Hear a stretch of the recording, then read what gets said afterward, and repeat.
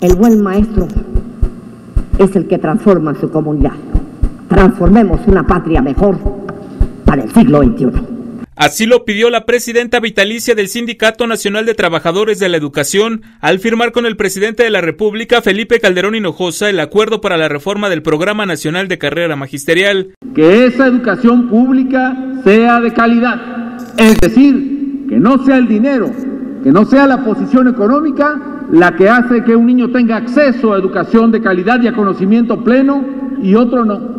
Que cada niño pobre viviendo en la marginación y en la miseria, cuando vaya a una escuela, reciba la misma o superior educación de calidad que cualquier otro niño. Con esa firmeza, la Secretaría de Educación Pública y el CENTE trabajarán de la mano para elevar la calidad de la educación en 26 millones de alumnos, pues los maestros con esta reforma serán evaluados y en base al aprendizaje mostrado por los estudiantes serán sus ingresos.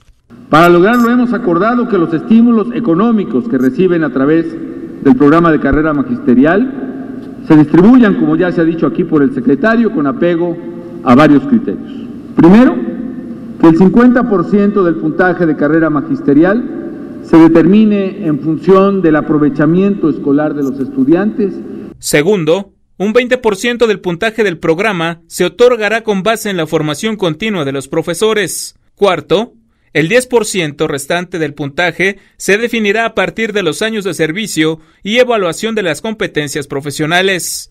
Tercero, que otro 20% del puntaje de carrera magisterial se determine en función de las acciones de las maestras y maestros para resolver los problemas escolares más allá del aula.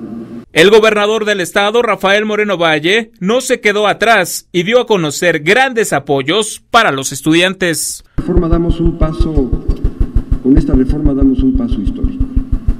La mitad, la mitad del puntaje de la evaluación en carrera magisterial se obtendrá a partir del aprovechamiento escolar de los alumnos. Si a los alumnos de un maestro les va bien, al maestro le irá bien. Con estas acciones se cierran filas en materia educativa. Gracias al apoyo del gobierno federal, este año invertiremos más de 300 millones de pesos en conectividad y aulas digitales. Asimismo, triplicaremos la inversión en infraestructura educativa. Con imágenes de Vicente Velázquez para SICOM Noticias, Fernando Mendoza.